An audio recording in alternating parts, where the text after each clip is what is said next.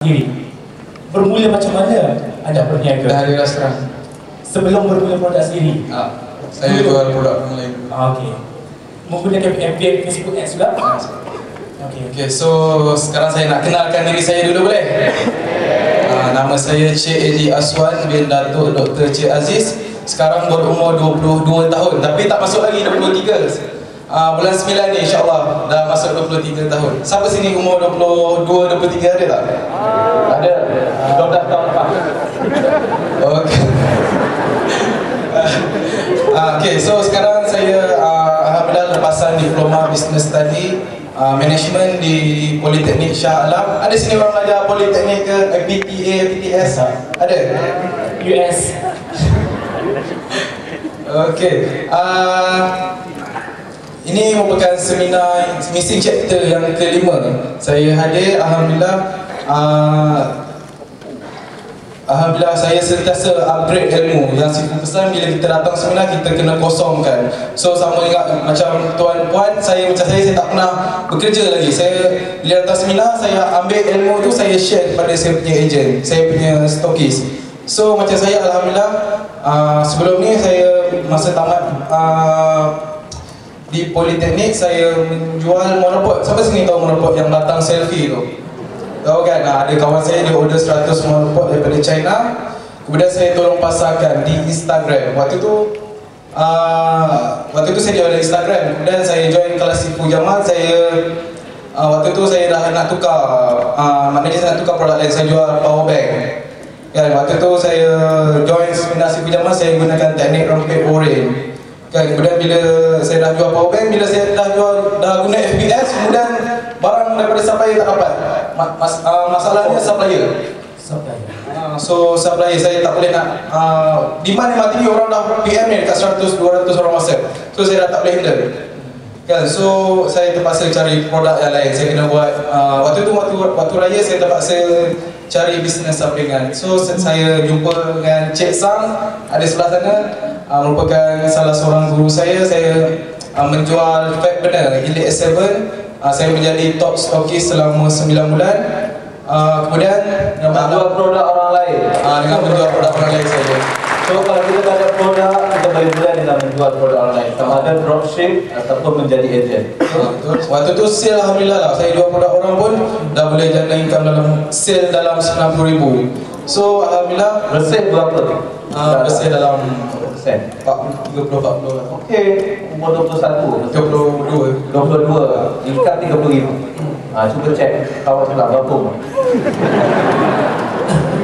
uh, waktu tu uh, saya kemudian saya uh, ambil inisiatif uh, selepas saya dah sekarang dah kahwin kan ada isteri saya ada isteri ada tak oh, tak ramai uh, saya bawa isteri saya alhamdulillah awal bulan 1 saya dah dirikan rumah tangga Uh, so dari duit bisnes tadi? Uh, Alhamdulillah duit bisnes Lepas tu uh, baru sebulan setengah saya dah keluarkan Alhamdulillah produk saya sendiri Tapi saya dengar tadi anak datuk uh, ya, ya. So anak datuk ni biasanya dibantu Bapak selalu bagi duit uh, Macam saya, saya start bisnes saya jadi dropship dulu saya, So saya bapak selalu bagi duit? Uh, tak, saya start daripada bawah lah jadi dropship Kenapa bapak tak bagi duit? Yang next produk ni dia kata nak bantu insyaAllah Ah, akan datang lah tu. Ah. So macam saya dah alhamdulillah dah keluarkan produk saya di Nas Slim Mac Juice HQ nanti boleh check dekat Facebook. Uh, alhamdulillah saya buka seminggu je stokis uh, 19 orang dah daftar stokis. So macam Sifu aja uh, salah satu teknik saya branding kan nama saya Edi Aswan saya brandingkan kat FB saya buka kurang seminggu alhamdulillah dah dekat 19 orang orang BM. Uh, BM banyak tapi alhamdulillah 9 orang closing untuk jadi stokis. Kan waktu tu alhamdulillah lah sale memang sekarang bulan Mac ni hampir 120 ribu lah. Kan? 120 ribu. Wah, Lepas tu sekarang sini ramai owner produk kan? Ramai owner produk. Kan? Uh, macam saya alhamdulillah ramai owner produk dia tanya saya nak coaching. Kan? Tapi macam saya apa yang tip yang saya buat saya ajar agent saya, saya ajar saya stokis Apabila saya pergi ke seminar mana contoh macam missing chapter saya sentiasa upgrade ilmu dan saya buat seminar untuk saya punya agent saya ajar kepada orang. So macam produk yang sebelum ni saya ajar agent saya alhamdulillah orang dah ada income 20 ribu sebagai cikgu. Kan so saya ajar dia saya Lepas tu saya bawa saya bawa uh, mereka ke seminar. Kalau macam ni ada kat belakang yang pakai baju Dina tu kan. Uh, so saya bawa lah. Sepatutnya 19 orang tu saya dah sponsor tapi dia tak nak datang kan.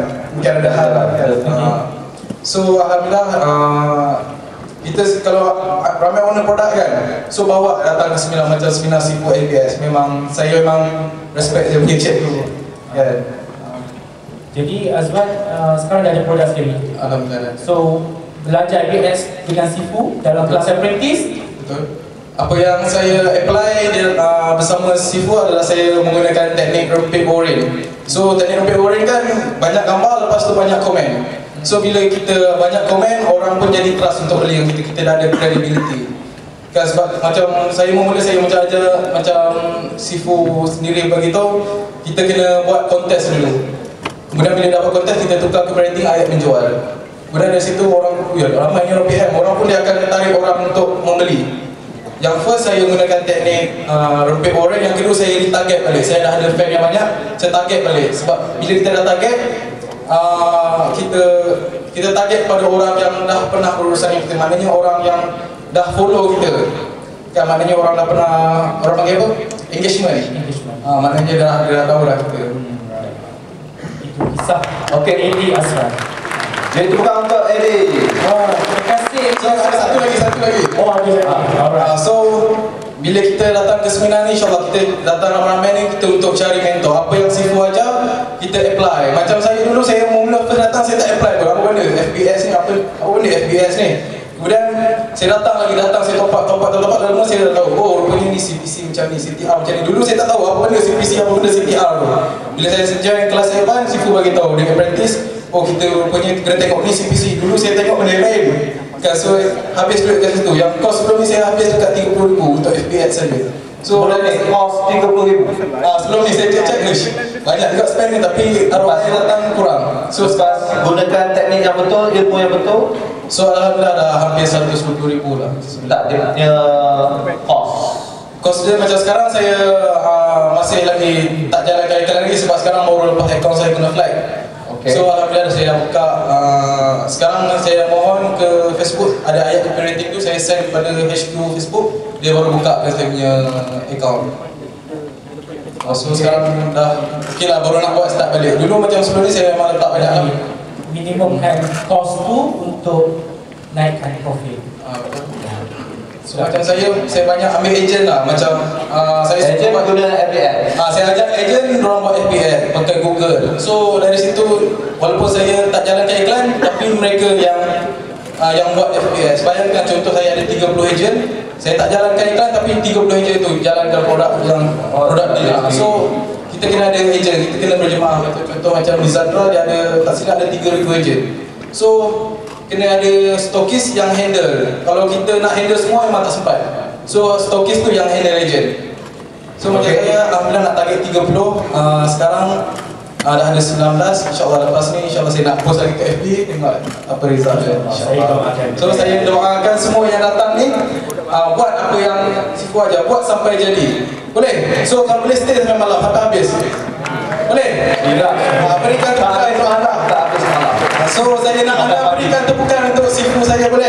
So berikan tepukan dan umroh kepada sifu FPS, sifu Jamal. Terima kasih Desmond. Uh, dan nanti.